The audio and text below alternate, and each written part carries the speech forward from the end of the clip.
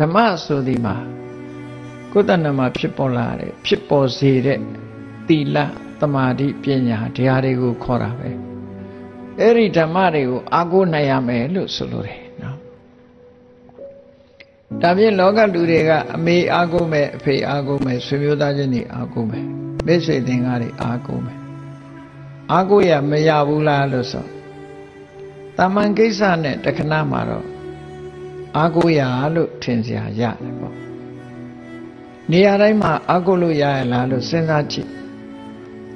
အမေရှိတဲ့လူကအမေအာကိုရတယ်အဖေရှိတဲ့လူကအဖေအာကိုမယ်ညီကိုမောင်နှမတွေချင်းချင်းပြန်လာအာကိုမယ်မိတ်ဆွေတွေချင်းချင်းပြန်လာအာကိုမယ်ကိုသိတဲ့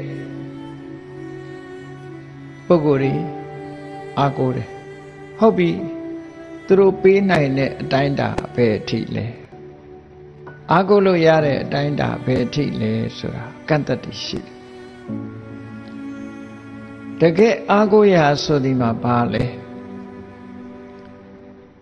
ဘုန်းကြီးတို့တွေတေချာစဉ်းစားကြည့်တဖြည်းဖြည်းအိုမင်းလာတာကိုအမေအာကိုလို့လည်းမရဘူးအဖေအာကိုလို့လည်းမရဘူးဆိုလိုတာက အိုမင်းချင်းဆိုတဲ့စရာတရားနှိမ့်ဆက်လာပြီဆိုရင်အမေကလည်းအာကိုစရာမဟုတ်တော့ဘူးအဖေကလည်းသူလည်းသူဒုက္ခဖြစ်နေဆွေမျိုးသားချင်းမြည်သည့်ပုဂ္ဂိုလ်ကိုမှအာကိုလို့မရဘူးအသီးအသီးဟာကိုယ်ဒုက္ခနဲ့ကိုယ်ချိပဲကောကိုအာကိုရမဲ့ပုဂ္ဂိုလ်ကကိုဘာကူညီနိုင်ဘာမှမကူညီနိုင်ဘူးသူလဲအိုကိုလဲအိုနေမကောင်းတိုင်းမသာဖြစ်ရင်ရောသူလဲ ဖြားနာကိုလဲဖြားနာနောက်ဆုံးတေတော့ရောသူလဲတေကိုလဲတေမတေအောင်အာကိုလို့ရလာလို့ဆိုမရဘူးတရားအဲ့ဒီကိစ္စတွေနဲ့ပတ်သက်လာတာကိုမြတ်စွာဘုရားရည်ရွယ်ပြီးတော့နော်လောကကြီးဟာတဲ့အတ္တနောလောကောအနဘိတရော